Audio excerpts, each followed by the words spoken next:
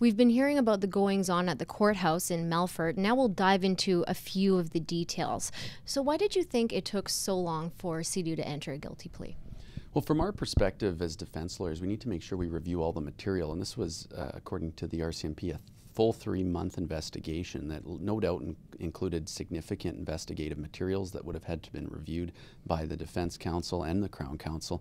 And I think prior to Christmas, there was a recent report that was generated uh, by the government that again was considered by the parties. So, uh, for all intents and purposes, this would be considered an early decision from uh, in our world in terms of the time required to review that material and uh, come up with a determination as to what to do.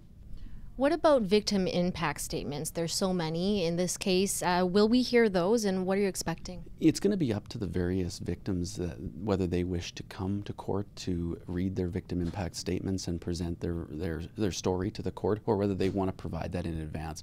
Uh, Victims Bill of Rights legislation allows anyone who is connected to the accident to provide their information to the Crown prosecution, and the prosecution can prevent can provide that information to the court, uh, and no one's really prevented from from from doing so. Um, if as long as they comment just on how the incident has affected them and don't comment on what the appropriate penalty should be, uh, the court will usually hear those. And uh, I expect that there'll be some oral statements, and that's likely why we've heard that a few days have been set aside. Otherwise, it would only take likely a few hours to complete a sentencing like this. So I anticipate there's going to be a lot of words from the victims themselves here.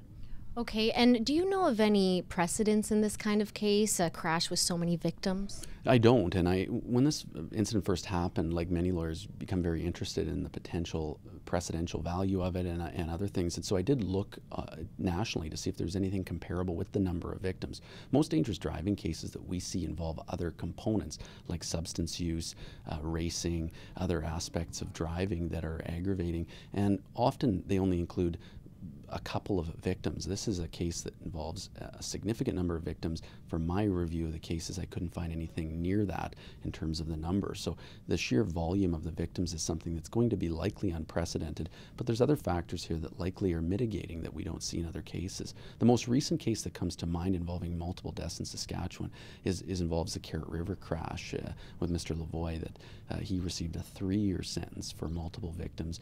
The aggravating factor cited by the judge in that case was that he was speeding through um, a, a, a, zone that was reduced speed because of construction during a time when there was lots of uh, discussion about how everybody needs to slow down at that time. So uh, a flag person was seriously injured and three individuals uh, lost their lives as a result and received a three-year sentence. It's possible the court would make reference to that case, but time will tell which par- what the parties think the judge should review.